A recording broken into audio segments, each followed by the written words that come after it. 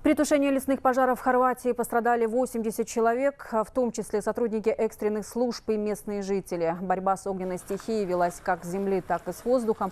Всего в ней были задействованы порядка 200 пожарных и полицейских, 4 самолета, а также добровольцы. По данным властей, сейчас территорию, где бушуют пожары, удалось взять под контроль. Jedan od velikih problema naravno Из-за сильного ветра операция по локализации пожара заняла так много времени. И, конечно, именно погодные условия способствовали быстрому распространению огня. Будет проведено тщательное расследование. Мы выясним причину возгорания.